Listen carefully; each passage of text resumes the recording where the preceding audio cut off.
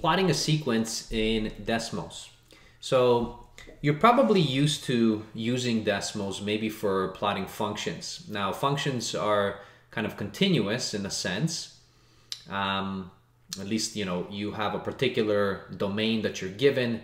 But whenever you're stuck with plotting discrete, so even discrete functions or sequences, how do you do that in Desmos? Because it's not going to have a nice continuous line associated with it. Okay, so some graph. It's going to be basically points. Um, so here are two sequences, and I want to take these sequences and then show you what you do in Desmos and how to set it up. All right. So the first thing is take your sequence or your discrete function that you have, and I'm going to kind of rewrite it. And instead of n, I'm going to use x because Desmos kind of likes that. So I'm going to say, and let's say, let's call this one f of x equals to 5x minus 3. So I basically kind of are transforming this into a function um, first. Now the second one, so this one right here, I'm going to write g, okay, of x equals 2, so negative 2, let's say x plus 2 squared minus 1. All right, so that's the first thing that I'm going to do. Um, now, I want to be able to plot these up on Desmos. Okay, so let me pull up Desmos and we're to do this. I'm to do it kind of side by side um, and show you. Um, actually, maybe first, okay, so let me put it as big screen just to show you how to set it up.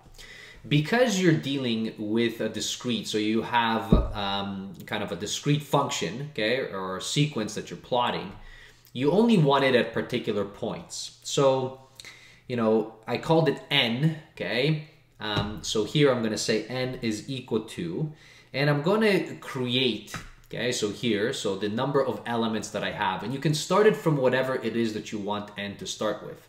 So either from zero, you know, zero, one, two, three, four, going up, or a sequence where it starts from one, two, three, four, and so on. So I'll just go one, okay? Um, sorry I'll put dot dot dot and then I want to end it somewhere okay? Now I'm gonna end it I'll put capital N here and then close it. Where N the capital N I will decide how many um, of these points I'm going to be plotting. So I'm gonna put a slider in here and you know let's initially put let's say maybe a hundred elements that I'm gonna be plotting now, the next thing that you do is, so once you set up your n being points, now you are going to write out the function itself. So I have, I have two functions. So write f of x, okay, I'm gonna write this one as you normally would in fu function form. So here is, let me bring this back just so that I can see them. So the first one was f of x and that was five.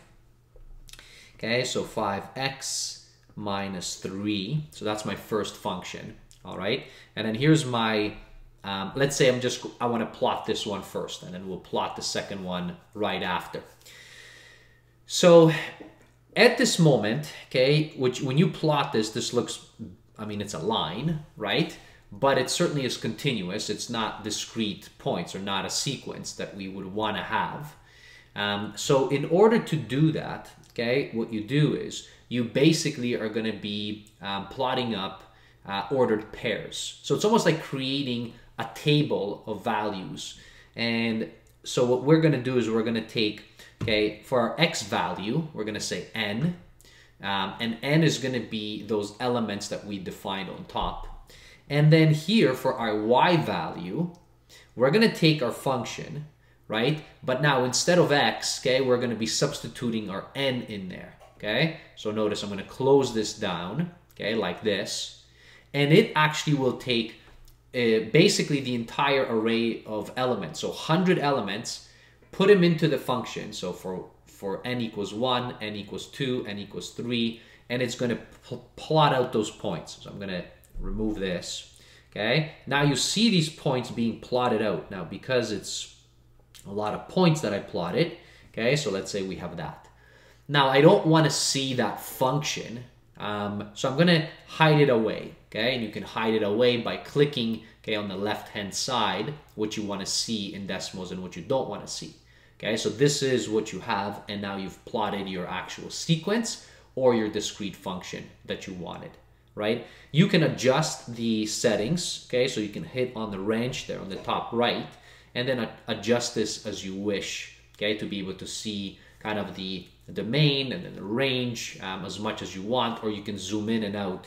I'm using a tablet, so if you are zooming in and out, okay, so if I take the y-axis, I can kind of go up and down. If I take the x-axis, I can go like this. And notice those points are basically just being streamlined. Now they're gonna get closer and closer together just because of me zooming in here. So that's how you can actually plot it. If you want to plot several at the same time, you can with the same elements, okay? Um, just by putting in the other functions that you want. So I have just f of x as one of them, right? That's one sequence, but if you want to put another sequence, you can do that uh, within here. Now, if you want to change the number of elements that you have, you can, right? I mean, you can hit this, let's say instead of having that, I only wanted 20, okay? So I can put 20 within here. All right, okay, so now for that second one, so I'm gonna write down, so I called it g of x equals, let me bring it back again. So I'm gonna take that function, I don't remember what it was. Okay, so let's say, what was it there on the side? Um, so I have negative 2, okay, and this was x plus 2 squared. Okay, so it's going to be a weird sequence, a quadratic sequence it looks like. Okay, so like that. Okay, so now let me move this out of the way now that I have this. And now again, so if, if I want to plot it, I would say n, but now I'm plotting into g, into that function, and I'm substituting n for it. All right, so that's what I'm going to do. I'm going to adjust here, let's say, you know, I want 20 points like this and you know so you can do that. Let me remove this function and then there you go. There's your points. You know they're falling off I guess because that parabola uh, was kind of downwards. So notice here's the parabola and those are your sequences. So you can do and plot as many points as you want uh, and make it discrete in this way. So hopefully you find this video useful okay? Um, for any students or teachers who might be using this you know Desmo's amazing. Um, I mean, I use it. I'm not advertising or anything, um, but I, I, I love this tool. Okay, bye everybody.